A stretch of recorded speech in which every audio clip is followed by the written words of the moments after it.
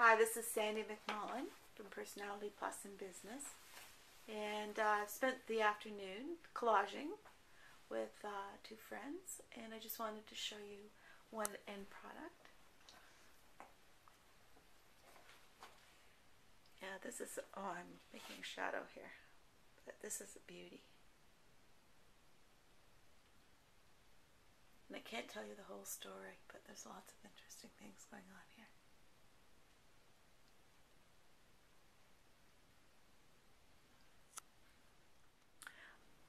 Here are a couple of uh, collages that I've done. These are my, my personal ones. And this first one is from a few years ago. And I was uh, really full of energy and just wanting to put everything out there. And you can see that this is really busy.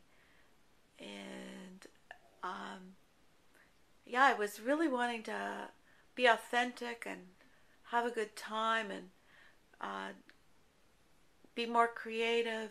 And uh, so I, I think that this, well, it says it to me.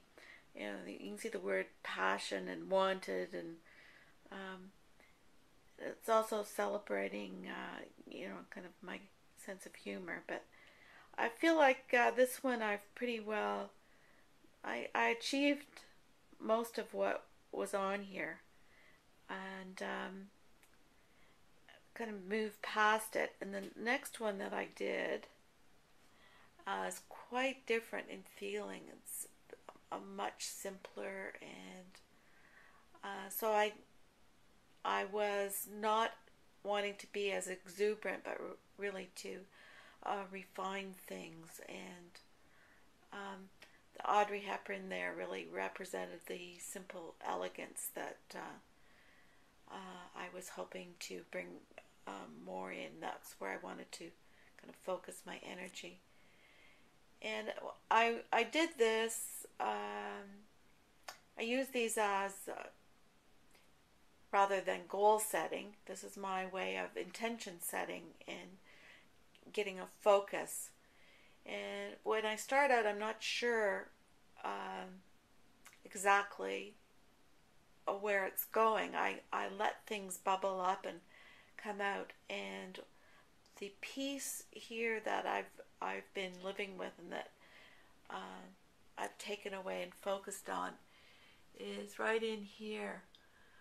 Uh, it says create your own spotlight and there's a house with a light on. And this has uh, been a, a, metaphor that uh, I've been working on for the last few years of really letting that light shine and uh, and not um, keeping myself such a secret.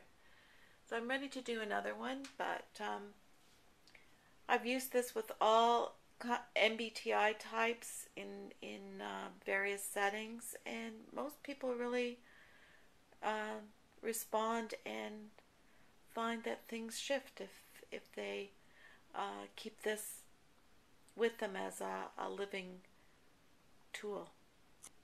Anyway, the world of uh, visioning through collage.